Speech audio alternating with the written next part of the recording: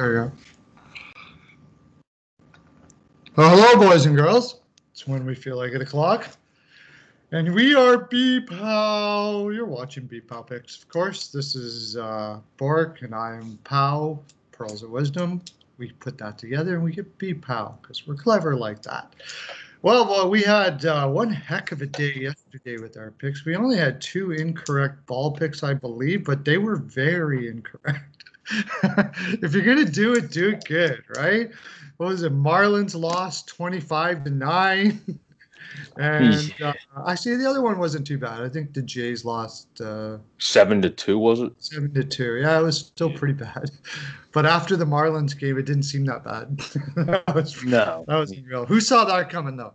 Really? No, I mean like that's what I was saying. I mean, you have a guy in Tommy Milone who really obviously didn't pitch well either because the they scored nine and still lost. Like the one announcer made the joke: whoever scores nine and loses by twenty.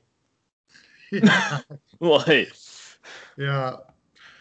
That was a pretty crazy game. Uh, I think it was wasn't it 10-1 after the second, uh, and it just kept on getting like snowballing. They kept on getting solo home, run, home runs, and you're yeah. like, "Is this ever going to be over?" oh my god! Oh yeah, it was not fun to watch. And the worst part is the thing about it was the early game, so it's like not the best.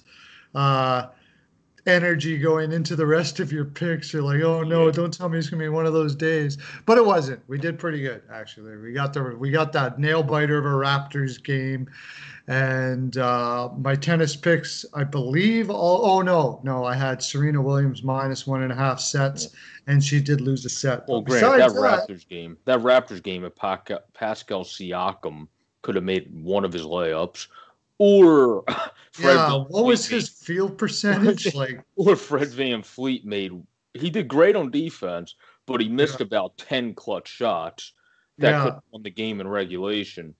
so I mean, and that's uh, not normal for Fred VanVleet. No, actually. it's a good He's thing. He's pretty clutch. Figured out uh, uh, how to play well 153 minutes that he didn't even know he did at the end of the game. The reporter's like, "Yeah, you play 53 minutes," and he's like, he didn't even know he played 53 Yeah. But anyways, overall, it was actually ended up being a really good day again. We were up units like usual. Um, got more tennis plays today. Go over to our Patreon. We're not going to give you what those are because I've been 11. I've had two incorrect in 12 picks. So that's uh, for U.S. Open tennis picks. So people are making tons of money over there. Highly recommend it. I'll put them down in the comment section. Check it out. But let's get into some games for today. Um, we're going to start off with uh, some ball. Uh, we'll go uh, Dodgers, Diamondbacks. What do we got on that game?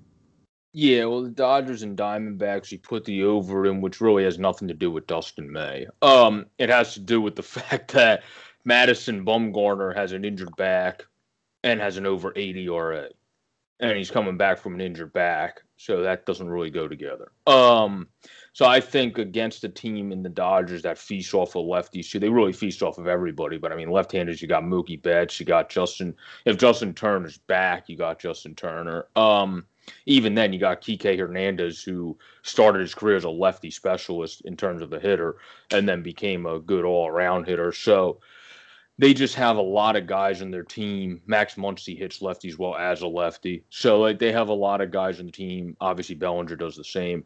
That just hit lefties as lefties as well. And then the guys that are right handed destroy lefties. So I don't think that's going to uh, spell well for Bumgarner. Like Bumgarner will probably go up at least six himself, and then the uh, not the Astros. The Diamondbacks bullpen is pretty abysmal. So because they traded a, a Chafin, obviously, who was one of their better guys. And then May usually gives up like two, but pitches really well. So you figure um, you're already at eight there, and then you need to just bullpen to give up, which is likely. Usually bullpens on one one team's bullpen gives up one or two runs per game. So especially yeah. when you're playing a terrible team, when it's a terrible team against a good team. So yeah, you could all. I think you could also just add a little juice on the ML too. Probably Dodgers are going to win this game, especially after a long game yesterday. The D-backs used quite a bit of their better uh, bullpen yesterday already, and they couldn't beat the Dodgers. So what are they going to do today? Really, they don't have much. Uh, I agree with you. That's uh, it's looking like a blowout for sure. Uh, be very surprised if it's anywhere near close. Uh, so Houston over LA. Oh no, sorry. That's we'll get to that when we're doing basketball.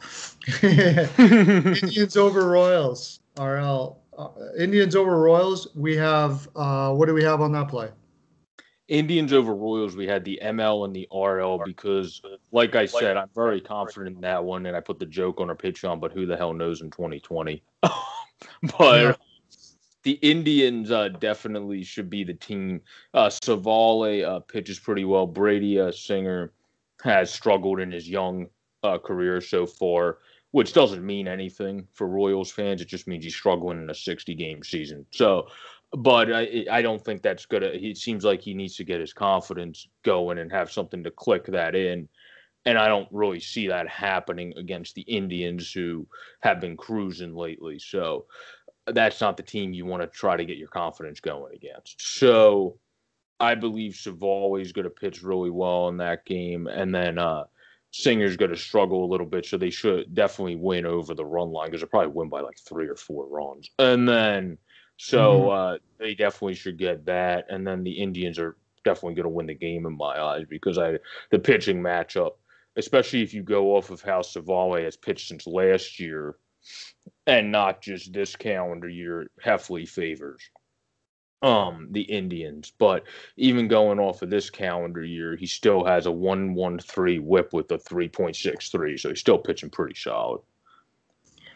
Yeah, um, Singer, like a lot of young pitchers, it's it's just learning to pitch in the big leagues. I mean, you've uh, most most pitchers have relied on their stuff up until now and come up to the big leagues and realize that it's not just the it's not just your uh, you know two pitches that dominate anymore. You got to really be able to change it up, and that's what Singer's learning, and I'm sure he will. But probably not happening today. Um, so Giants Padres, what do we got on that? Uh, well, the Giants and uh, Padres again. They're the Giants have been doing surprising things, obviously. Um, but uh, I mean that one. Did we? What one did we do for that? Because I didn't write that down. I didn't even. Import Oh, you didn't write it down. Oh, okay. We got over eight and a half. Okay, because yeah, I didn't even. Yeah, that one's my, not even. My uh, my app is nine. Yours is eight and a half.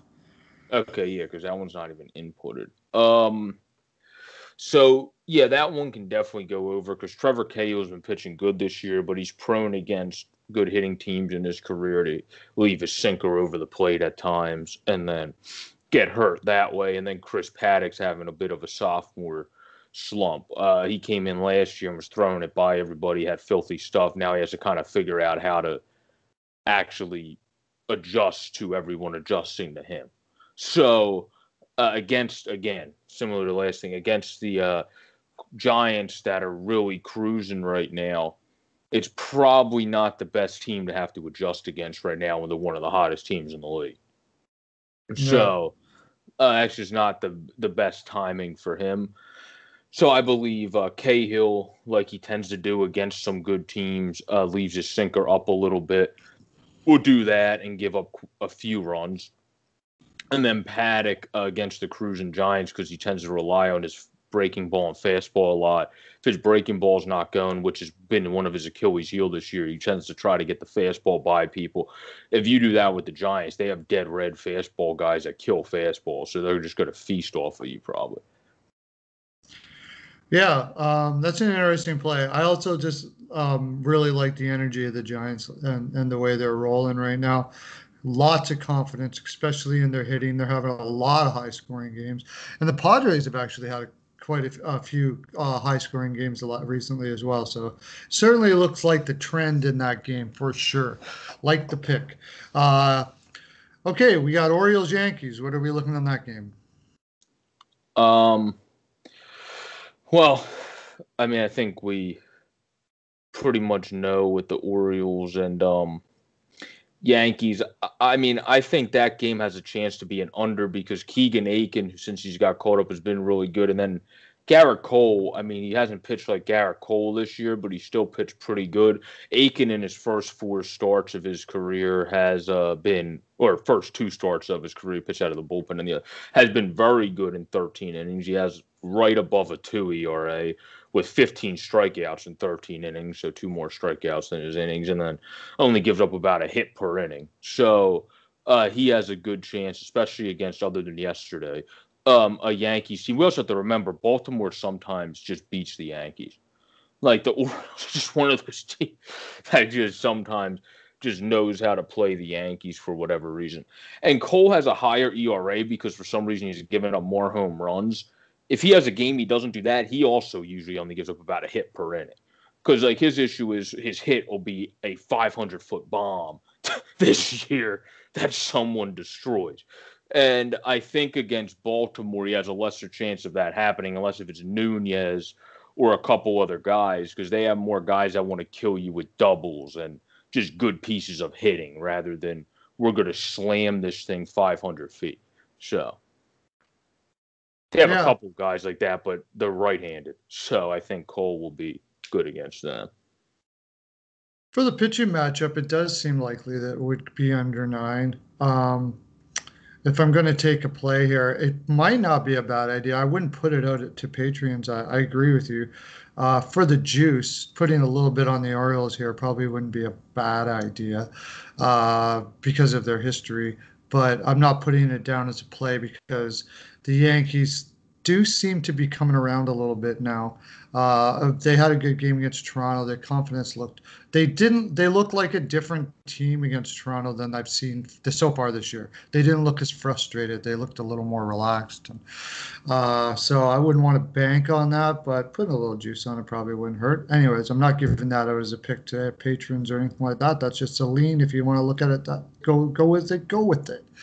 Cubs Reds final ball get ball pick. What are we doing with that?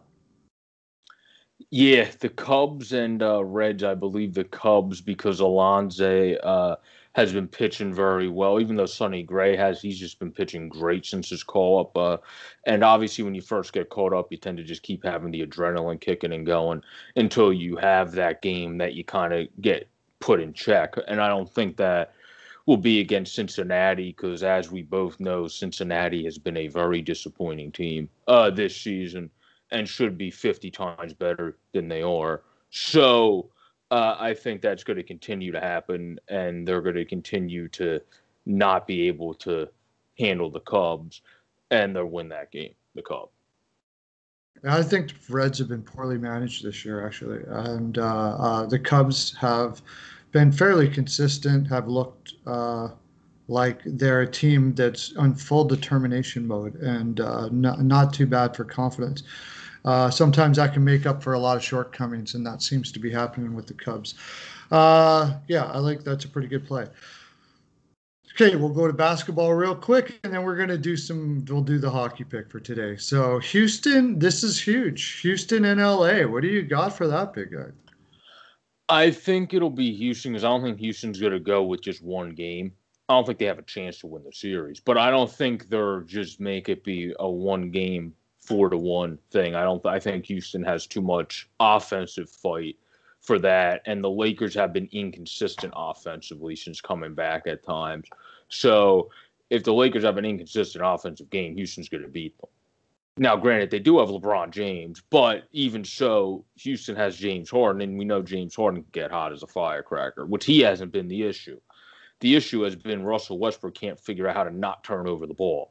So if he actually has a game, which I believe tonight, uh, he, for some reason, since at times you've seen flashes in each game, but he still looks off. So I feel like since you've seen the flashes of Russell, he's going to kind of put it together when he knows this is the game that can tie it up because that's extra because especially for a player like him he's a very high energy guy he's going to go we need to even the series and we need to make like so i think he's one of those guys he's a guy that can be a little bit um off-putting to some players, but he's still a leader of a team, and I think he's going to rally everyone with Harden tonight, and they're going to be able to win this game. Now the series, I don't think they'll win. I think this will be similar to what I said with the Raptors, where they win the game and then it might be the last game they win. uh, so uh, I think I think they'll win this game. It'll be two two, and then the Lakers will probably change their game plan for whatever the Rockets did tonight, and just smoke them in the next two games. But I do like the Rockets in this game. I just really think that Russell Westbrook's going to have his best game and put it together. Harden's been perfectly okay, so he just needs to kind of keep doing his thing. Um, it's an interesting play for sure, uh, but I also think that we, although Harden has played well, he hasn't really had that game where he just hits. You know, when Harden just hits everything, like just yeah. From everywhere. And it feels like this could be that game right now where you're reaching in deep knowing that you can't go down 3-1 against the Lakers or you're pretty much you are definitely done. So, yeah, this seems like the game where he'll throw everything at it, nothing to lose and Harden will just hit from everywhere. He does that when he does that, it's almost impossible to beat them. He, he can't doesn't seem to be able to do it overly you know, all the time in the playoffs like that. But there's usually one or two games where he's like that, and we haven't really seen it yet. And this could definitely be it. It'd be a good play, lots of juice on that game. So, uh, uh, definitely one to. I, I, think that's a at least a good risk, anyways. If you're going to make a risky play for some good juice, this that would definitely be a good one. So we'll go now to uh, Vegas versus Dallas. I personally. Uh, I personally think that uh, from what we saw from Dallas last uh, game, this could be a little bit of a struggle now for Dallas. What do you like on the Vegas Dallas game? Um, yeah, Dallas. I mean, they were surprising in the first game, but they also only scored one goal, and then Anton Khudobin just played very well. Um, so I believe the Golden Knights are going to continue. They had a three nothing shutout which was Lehner's fourth shutout of the postseason. Uh, so um, he's doing really well, and I think that's going to continue tonight. And like you said, Vegas is going to be able to handle because even if Dallas does do very good offensively, Lehner's been money this postseason.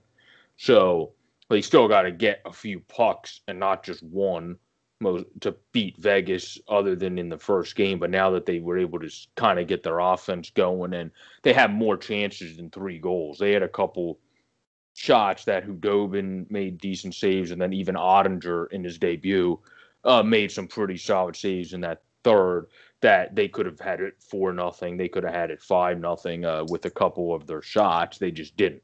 So I believe Vegas is going to be able to pretty pretty handily win this game, even if it's a close game in score. I don't think it'll be a close game in the numbers that, like, you look at the after game numbers, like possession time, shots, and all that good stuff. I don't think it would be as close in those numbers, even if it is like a three to two score. Because we know these playoffs, these playoffs, there's been three to two scores where a team has 14 shots, the other team has 44 shots. Yeah. So uh, that's that's how I see uh, this game go. I think Vegas is just going to come out and go pressure, pressure, pressure, pressure, pressure, and then try to just completely, like Colorado did the one game, smoke them in the first, and then they're kind of just be out of it. Yeah, I, I, I'm leaning to the fact that Vegas doesn't drop one from here on out against uh, Dallas. Um, I'm with you on the fact that Dallas pretty much played the best game they could play against Vegas and only won one nothing. Uh, and uh, in Vegas didn't look horrible in that game. Really, he, they still had a lot of pushback, still had a lot of possession times. Uh, so, and I, I, think Dallas is more tired than Vegas as well. Um, so I'm going to go with Vegas here. I'm going to say. I'm going to go as far as to say, and I know, like you, you, uh, I, I wouldn't even be opposed to PL here. Um, I, I have a feeling that the last game really shocked Dallas to understanding just how good this Vegas team is. And as long as the Vegas What is the PL one? What PL is, win by two. What's the what are you getting on it? Probably yeah. about 175 or 180. 175 guys. Maybe in reg might be a better just to add a little juice. In reg. I think it, there hasn't been too many. Haven't. Neither one of these teams have been, or Vegas hasn't been going to overtime too often. I just I really think their game dominates. And I don't think they will against Dallas. Yeah. Yeah. So probably in reg would be a good good play there. But uh, yeah, well that's our full 42%. You got to go off and head out to your family, do your family stuff. But I hope you enjoyed all this, patrons. Uh, I'm glad you're we're making we're making good money out there. Become a patron today. Go over to the Patreon, uh, check out BPOW Picks. We are having tons of fun. You get to join us on our lives in the evenings that I've that we've been doing. That's been fun as heck. And of course, you can find all of our information because Borek doesn't just do this. No, he's also a writer and a fantastic one at that. Over at uh, www.steelflyers.com. Be excited for how what that the website's going to look like in the in the near future from what i understand it's going to be amazing you're going to be able to find everything you want about sports there with some of the greatest writers and podcasters all in one place. It's going to be awesome. That's our full 42 for Bork i'm pearls of wisdom. We are BPOW have a great day. Lots of love to ya